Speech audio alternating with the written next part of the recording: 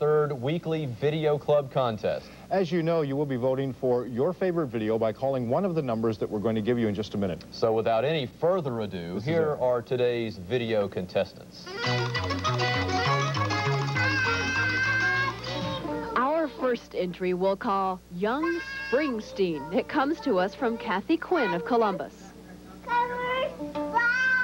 This is little Andy. He's a year and a half old and already in touch with the creative side of his mind. The song has a good beat, but the lyrics need a little bit of work.